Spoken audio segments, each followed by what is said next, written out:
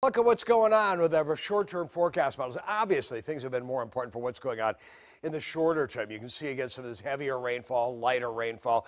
We'll see a little bit more moderate rainfall lift northward through the region coming up uh, for the overnight hours. And then it moves on off, and then we're just left with scattered light rainfall, a few light scattered showers first thing in the morning.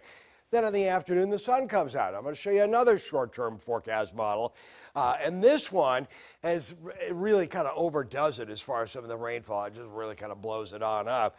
But you're getting the same idea. We'll see some of these patches of more moderate rainfall blow through. Then by 4 o'clock in the morning, it moves on out. We're left with a few scattered showers uh, during the morning hours for tomorrow. A 40% chance of that.